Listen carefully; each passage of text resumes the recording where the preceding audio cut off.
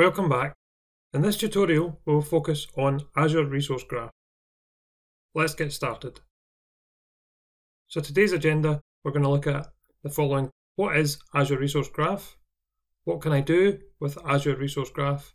And then we'll cover one or two demos. So what is Azure Resource Graph? Azure Resource Graph is a service in Azure that is designed to extend Azure Resource Management by providing efficient and performant resource exploration, with the ability to query at scale across a given set of subscriptions so that you can effectively govern your Azure environment. So what can I do with Azure Resource Graph? With Azure Resource Graph, you can write queries against your Azure resource so you can gain some very insightful information into your resources. Before, it wasn't possible to see all of your resources if you had more than, say, 2000 Queries that you write can be kept private or shared. Shared queries are stored within a resource group for other users to run.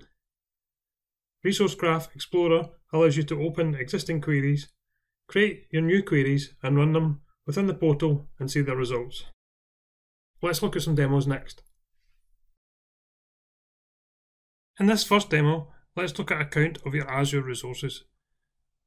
As you can see, I've opened up Azure Resource Graph Explorer and on query 1, this is a simple query to return a count of all of your resources across all of your subscriptions. So if I just run this query, you'll see that we have 320 resources within our subscription.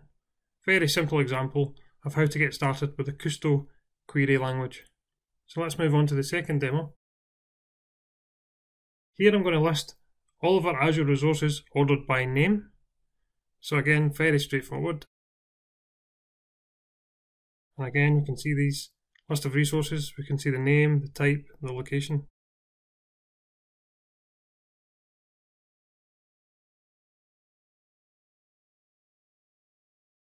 Next up, let's look at the total disk size consumed. So here we can see we have used up 3316 gigabyte. Pretty simple query. Next up, look, let's look at the disk count by disk state. Let's just run this query. So here we can see seven are reserved, three are unattached, and two are attached. Again, you can click on the details for more information. The fifth query, let's look at an example dashboard across all of our subscriptions. So in query number five, let's look at the final count of SQL databases. So we can see we have 10 basic, 5 system, 1 standard and 1 general purpose database. That's across our entire subscriptions. And in query number 6, let's count the number of SQL Server instances we have across all of our subscriptions. And we have 17. So from these queries you can see this option down here. You can pin it to a dashboard. So let's look at an example dashboard built with several different queries. So this is an Azure inventory dashboard. So here we can see an Azure resource inventory. This section gives you an overview of all your Azure resources across subscriptions that you can access. So on the left here you'll see a count of all my Azure resources and if you click on this it will take you to the query as we've seen before. This dashboard is built entirely from Azure Resource Graph queries, built using the Kusto query language, and the dashboard itself is saved as a JSON string, which you can share with anyone as no resource information is stored within the JSON. The results are returned from the queries held within the JSON. Here we can see the Azure Compute inventory. We've also got an Azure Storage inventory, networking inventory, and a SQL Server database inventory.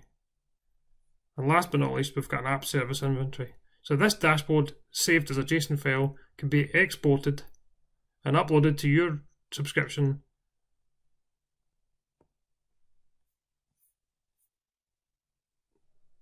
The JSON for the dashboard can be found on my GitHub at the following URL. I also have blogged about this, Azure Resource Graph Dashboards, so if you browse to my blog at gregorsuttie.com, you can read more